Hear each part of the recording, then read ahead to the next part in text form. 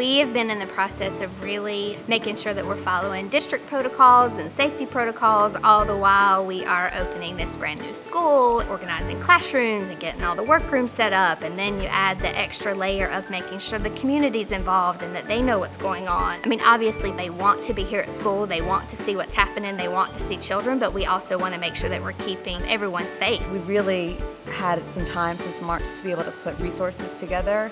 We feel very prepared to be able to provide virtual services, to see our kids through the digital platform, and to really provide a lot of support to families. Students will be learning with their teachers for a good portion of the day with their class and classmates and, and doing instruction, right, and learning. And then there'll be a portion of the day to where they'll get to do small groups virtually. We know how they can learn best. We know what their signs are when they need breaks. It's okay to ask for some additional help and support at this time and we're here for you. And so if parents need those resources, I would really encourage them to reach out to their school social worker, psychologist, or counselor. Just helping to ensure that, that their kids are logged on each day with their classroom and, and doing the activities with the teacher. Everybody misses the kids so much. You feel it in your heart, you feel it in your gut, like you just want kids to see that, the excitement that you feel. We can't wait to see you back.